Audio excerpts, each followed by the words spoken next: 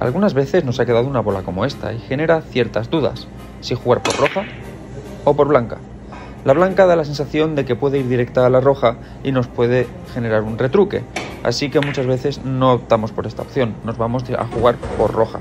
Pero la verdad es que jugar por blanca tiene un beneficio muy importante, es que es una bola de ataque y a la vez de defensa. Ya has visto cómo se mueve la bola blanca, una vez cogiendo corta y al fondo y otra vez cogiendo larga, las dos veces se ha ido a una buena zona. Y ahora vamos a fallarla. Fíjate, no hay retruque, y si fallo el punto, porque en este caso me he ido largo, fíjate lo que le dejo al rival.